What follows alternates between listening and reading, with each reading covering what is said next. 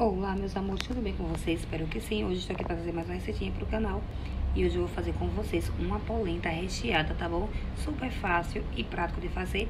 Para o recheio da nossa polenta, eu tenho aqui meio pimentão, um tomate, meia cebola cortada em pedaços pequenos, duas linguiças daquelas fininhas, cortei em rodelas, tá bom?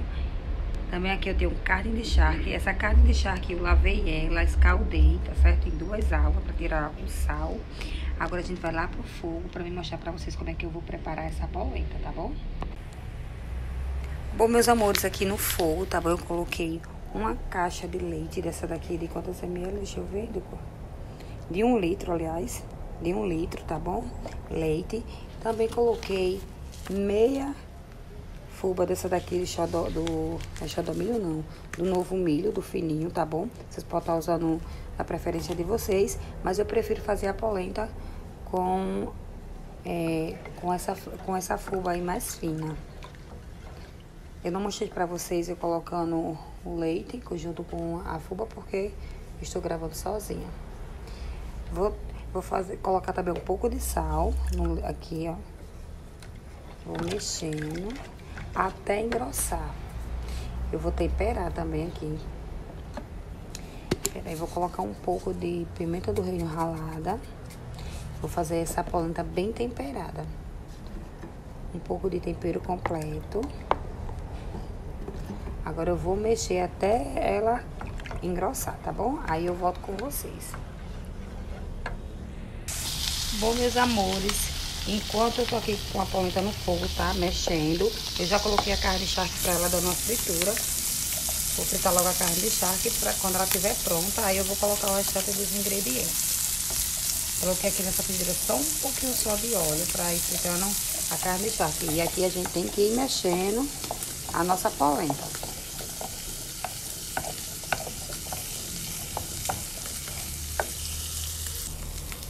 Olha só, meus amores, a nossa polenta aqui já engrossou. Vou deixar aqui no fogo baixo, tá bom? Para ir cozinhando a nossa, a nossa fuba. Aqui a charque também já tá assada é, frita, eu vou colocar o resto dos ingredientes. Olha só, já coloquei a verdura junto com a calabresa, agora eu vou deixar fritar aqui. Olha só como tá esse recheio dessa polenta, meus amigos. O cheiro aqui tá uma maravilha. E nossa polenta continua cozinhando aqui, tá bom?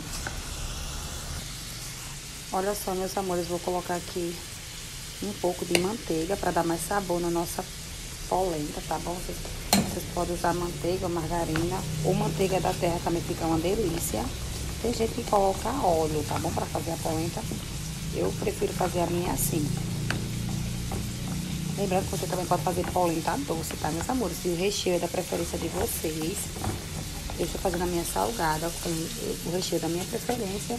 E vocês também podem fazer da maneira que vocês quiserem. Olha só, meus amores, aqui nessa travessa eu coloquei a polenta, espalhei ela, tá bom? Eu não mostrei pra vocês porque eu tô gravando sozinha, só com uma mão, não tinha como. Aqui já tá o nosso recheio. Vou jogar o recheio aqui.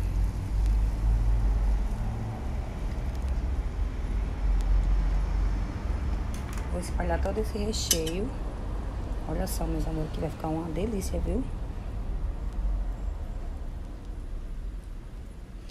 E por cima eu vou colocar o restante da polenta que sobrou. Tá vendo? Eu vou colocar e eu volto com vocês. Olha só, já agora eu vou cobrir. Arrumei uma pessoa pra me ajudar, meus amores, aqui gravando. Só colocar agora. Ela fica parecendo um escondidinho. Aliás, é um escondidinho, só que é de polenta, né? Olha só. Agora é só espalhar aqui, ó. Você, se vocês quiserem também rechear ela com queijo, colocar por cima e colocar no forno também dá certo. Só que a minha eu não vou levar no forno, vou só rechear assim mesmo. E já está pronta pra comer, pra se servir. Só espalhando assim, Olha que maravilha. Aqui agora era só jogar um queijozinho por cima e levar ao forno. Mas a minha eu vou fazer simples, assim mesmo. Olha só que maravilha. Pronto? Olha só. Tá pronto o meu jantar. Bom, meus amores, esse foi o vídeo de hoje. Espero que vocês tenham gostado. Vão logo deixando o joinha, se inscrever no canal, compartilhando o vídeo e até o próximo vídeo.